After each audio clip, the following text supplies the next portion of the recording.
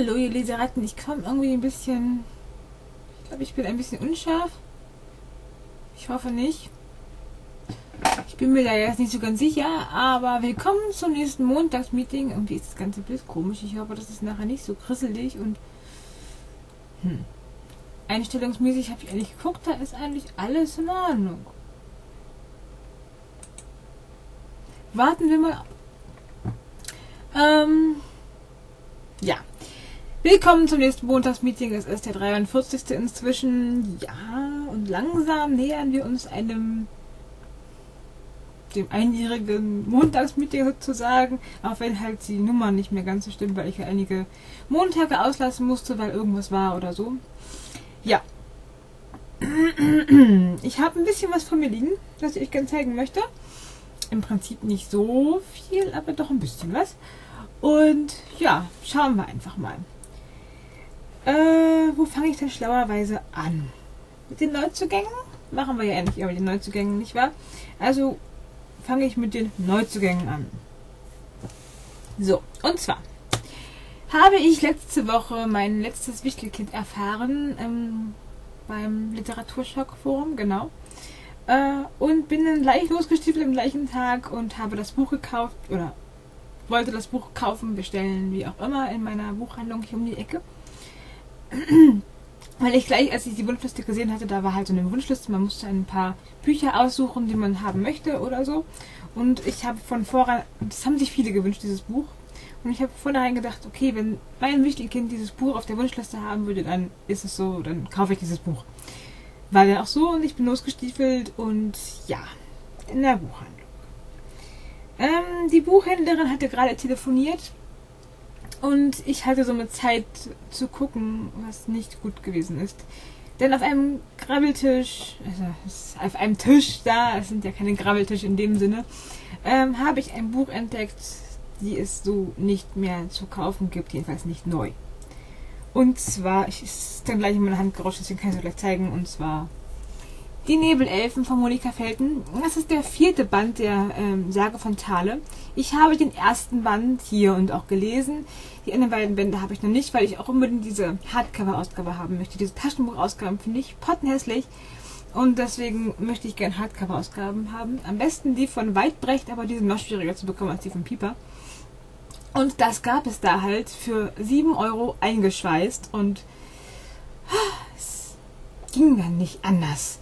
Das Einzige, was war, dass eben hier so ein Aufkleber drin war und man sieht es, glaube ich, ein bisschen, dass das da ein bisschen abgerissen ist. Eben hat man es doch gesehen, verdammt nochmal. Ich komme mit der neuen. Das war doch aber eben zu sehen, oder? Moment, ich mache mal ein bisschen hoch. Ja, da, da ist halt ähm, jetzt die Schrift ein bisschen demoliert. Aber nun gut. Kann man nicht ändern, ist dann eben so. Aber statt 20 Euro habe ich eben nur 7 Euro bezahlt. Und es musste mit. Und sie war immer noch nicht fertig mit Telefonieren und ich stöber weiter. und am nächsten, an der nächsten Ecke quasi kam mir dann ein nächstes Buch entgegengesprungen, wo ich dachte so, ah, und der Preis, oh mein Gott. Es war dann, ich mache mir den Preis mal zu. Es war dann das hier. Die Toten, die niemand vermisst von Hjort und Rosenfeld. Der dritte und bisher letzte Band der Reihe kam dieses Jahr erst raus. Und das kostete mich dann nur 5,50 Euro statt 15 Euro. Es ist ein gebrauchtes Buch, also es hat Leserillen. Ähm, ich wusste nicht mehr, dass die Buchhandlung auch gebrauchte Bücher ähm, verkauft, aber nun gut.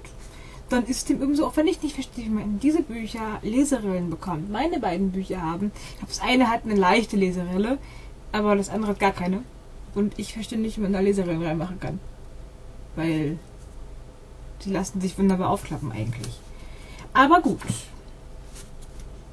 Dafür, dass das Buch eben neu ist und nicht nur 5,50 Euro gekostet hat, hat es mich jetzt nicht weiter gestört. Und ich würde am liebsten sofort weiterlesen, vor allem wenn ich einen Klappentext lese.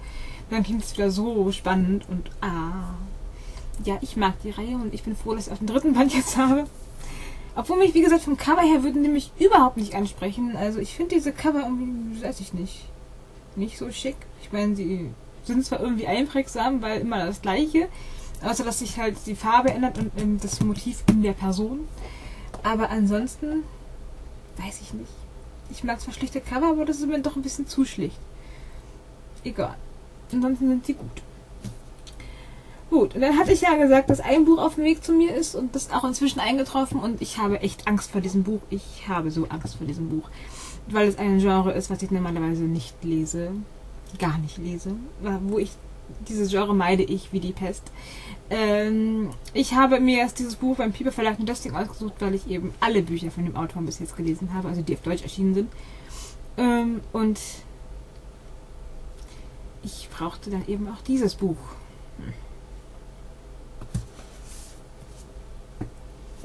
Aufbruch von Dan Wells, also Partials 1.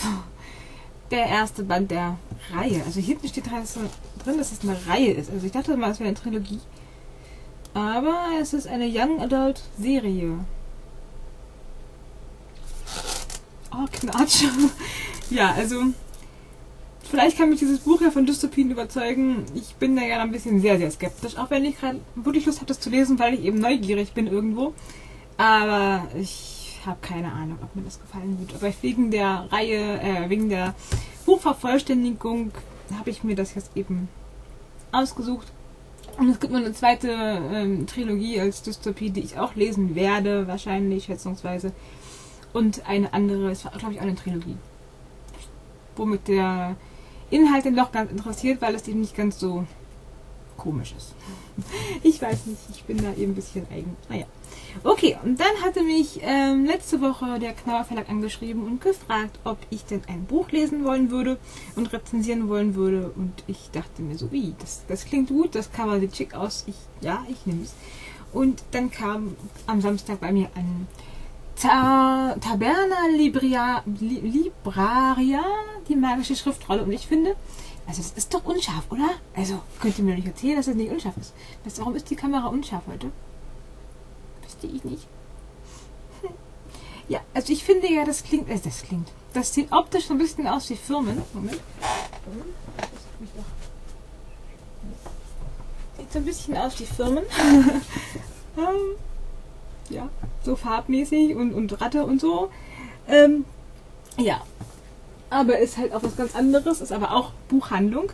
Also, ähm, ja, eine normale Buchhandlung entpuppt sich als nicht so ganz normal und das ist doch sehr. Jetzt ist scharf. Egal, lassen wir uns nicht davon stören. Jedenfalls klingt es sehr, sehr gut und es ist Fantasy. Und dieses Buch sieht sehr dünn aus, oder? Also ich meine, das, ich habe gedacht, es hätte jetzt so 300 Seiten, ein bisschen drüber vielleicht oder so, also so 300 bis 400 Seiten. Das Buch hat aber mal eben, oh, Sekunde, Sekunde, Sekunde.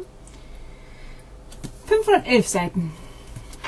Ja, zum Glück habe ich jetzt kein Problem mit dicken Büchern. Auch habe ich mir gedacht, dass das hier dünner wäre, aber irgendwie ist das auch ganz schöner Brocken.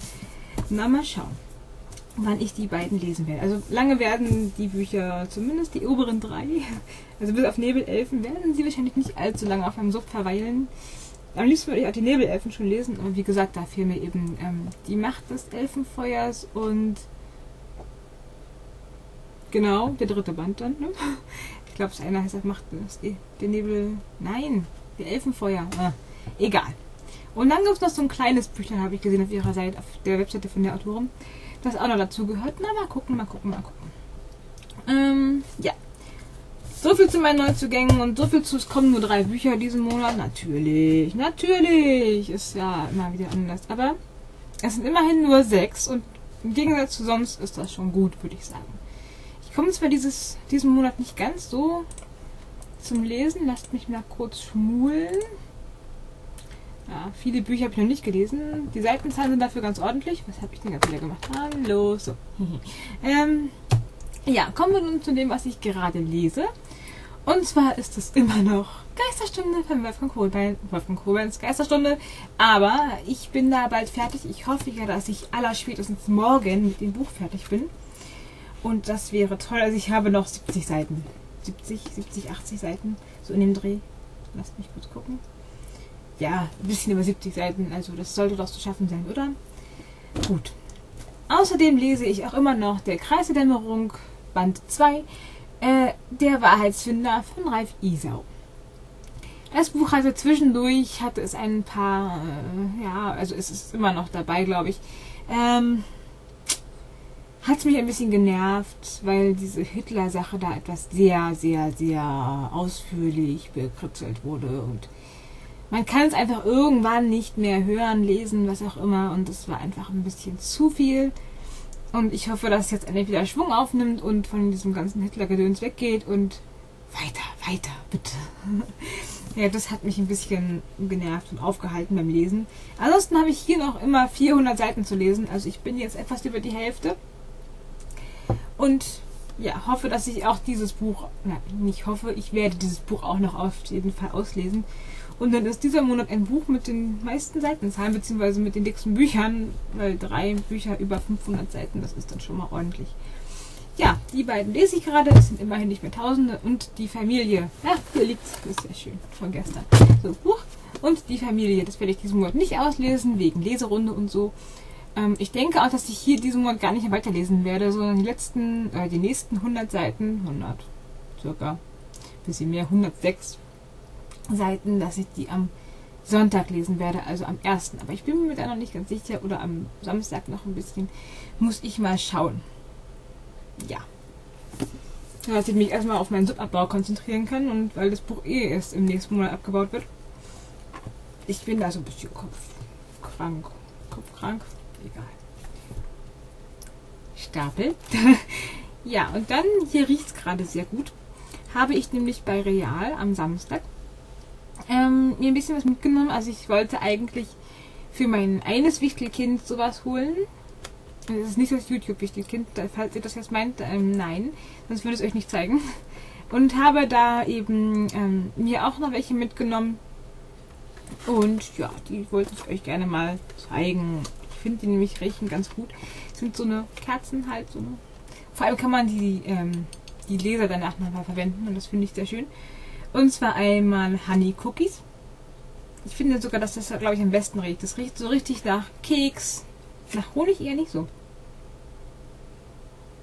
Eher so Zimtkekse oder sowas. Also so Keks und mit Zimt und ja, lecker, lecker. Also da könnte man sofort reinbeißen, glaube ich. Mm, ja, also das finde ich schon mal sehr, sehr schön. Dann habe ich Vanilla Spice. Also es gab immer zwei Farben und dann eben, also es kommt jetzt noch eine andere Farbe. Äh, und verschiedene Duftdinger. Ich dachte erst, wenn nur zwei Düfte, aber nein, es sind sehr viele gewesen. Es gab auch noch viel, viel mehr, aber ne, man muss ja nicht alle mitnehmen. Und das ist sehr, sehr vanillig mit. Ja, eher vanillig. Mit so einer kleinen Note was anderes. Aber überwiegend Vanille. Aber es ist ein angenehmes Vanille. Ich mag ja nicht jeden Vanillegeruch, aber ich finde, der ist schon sehr hübsch. Mal sehen, wie es sich angezündet anfühlt, anriecht. Wie es angezündet riecht. So.